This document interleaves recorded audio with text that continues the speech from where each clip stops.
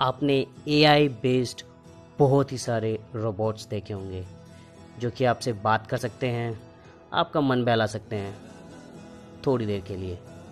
But real world में, एक practical world में, अगर हम बात करें कि कोई ऐसा भी रोबोट है जो कि हमारा हेल्पिंग हैंड बन सकता है तो जी हाँ हमारे पास एक ऐसा भी रोबोट है, जिसका नाम है स्पॉट और इसे बनाया है बॉस्टन डायनामिक्स ने।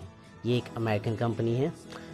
And before we start this video please don't forget to subscribe brand life India and welcome back Boston Dynamic is an American engineering and robotics company, and it was founded in 1992 by Mark Rayberts. 2013 से 2017 तक ये company Google के पास थी। और उसके बाद 2017 में Google ने इसे सॉफ्ट बैंक को अनडिस्क्लोज अमाउंट में बेच दिया। रोबोटिक्स में मार्क रेबर्ट्स का कोई जवाब नहीं था। Is known for creating Big Dog Atlas Spot और Handle these are the best robots created by Marc Raibert's but आज हम बात करने वाले हैं सिर्फ़ और सिर्फ़ Spot key.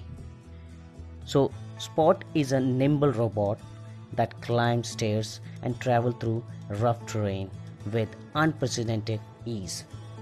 It's small enough to use indoor and it's built to be rugged and customizable platform.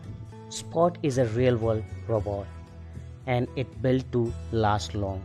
इसकी top speed 3 miles per hour है इसमें पाँच कैमरे हैं जो आपको एक परफेक्ट व्यू देता है आपको इसके चारों तरफ़ का व्यू मिलेगा.